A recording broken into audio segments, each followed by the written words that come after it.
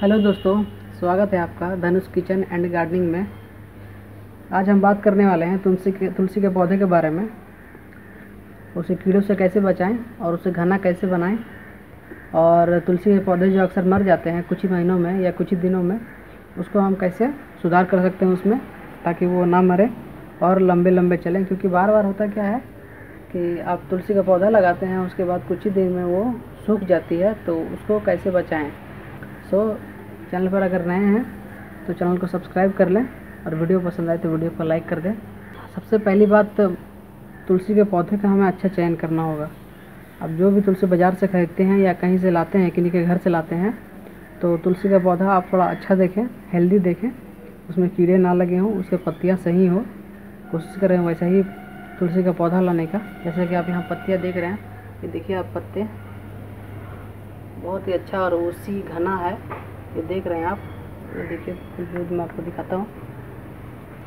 ये तुलसी का मुझे प्रॉपर नाम तो नहीं पता, लेकिन ये, वो एक होती है, एक लाल तुलसी, वो नहीं है ये। हल्की लाइट ग्रीन है, पूरी ब्लू वाली आती है, एक वो लाल वाली तुलसी नहीं है।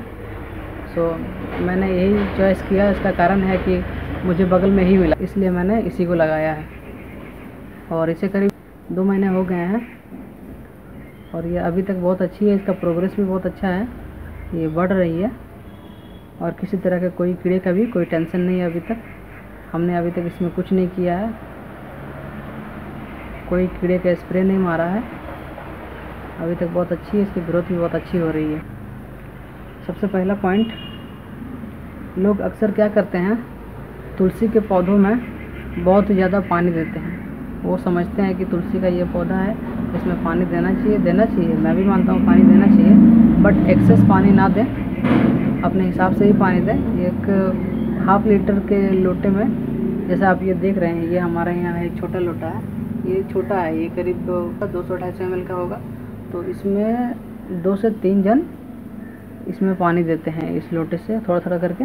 और अगर एक्सेस होता है तो फिर पौधे में ना देकर इसे नीचे सूरज देवता को डाला जाता है दिखाते हुए। इस तरह होता है। एक्सेस पानी ना दें। एक्सेस पानी देने से क्या होता है? पौधे की जड़ें गलने लगती हैं। हालाँकि आप देख रहे हैं, इसमें से पानी निकलने का कोई सोर्स तो वैसा है नहीं। ये इसी में जाती है, इसी में सूख जाती है। एक्सेस होता है तो कभी कभी होता है कि नीचे वाला जो एरिया है, यहाँ से निकलने लगता है। और इसमें मिट्टी पूरी भरी हुई है, जो ऊपर दिख रही है, सिर्फ़ इतनी ही नहीं है। ये हल्की दिख रही है, बाकी अंदर से जो है और ज़्यादा भरी हुई है, पूरा में भरी हुई है मिट्टी। सो सबसे पहले प्रॉपर मिट्टी दें उसे। और उसके बाद अच्छे से इसकी देखभाल करें। आप चाहें तो इसकी कटिंग भी कर सकते हैं, लेकिन अभी तक मैंने किया नहीं है। इसका कारण है कि इसे और थोड़ा बड़ा होने देना चाहता हूँ मैं। थोड़ी बड़ी हो जाएगी। उसके बाद मैं इसकी कटिंग करूँगा। और इसे वाइट वाला जो कीड़ा आता है, जो इसमें चिपक जाती है वो वाले कीड़े से बचाने के लिए आप इसे पानी से स्प्रे करें। अगर आपके पौधे में लग गई है तो इसे पानी से स्प्रे करें, तेज़ धार वाली स्प्रेयर से, ताकि उससे कीड़े हट जाएँगे। अगर उससे भी नहीं जाती है तो आप उस पानी में क्या करें, थोड़ा सा शैम्पू मिला दें। उस पानी में थोड़ा सा शैम्पू मिला दें, उसके बाद स्प्रे करें तो वो कीड़े चले जाएँगे। और दो से तीन बार स्प्रे करने पे वो चले जाएँगे, दोबारा नहीं आएँगे। और इसे उसी बनाने के लिए इसे नीचे से कटिंग करना पड़ता है, जैसे कि ये अगला वाला भाग आप देख रहे हैं ये सब। इसे मैं ऊपर से कट कर दूँगा, तोड़ दूँगा। तो ये वहाँ से क्या होगा, एक जगह से दो डाली फेंक देंगे, दो से तीन डाली फेंक देंगे तो वो उसी बन जाएगा जैसे नीचे भी किया हुआ।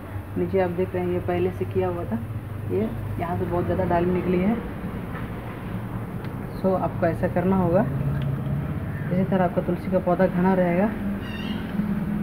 बाकी दोस्तों, आज के वीडियो में इतना ही। जितनी मुझे जानकारी थी तुलसी के बारे में, अभी तक मैंने आपको बताया।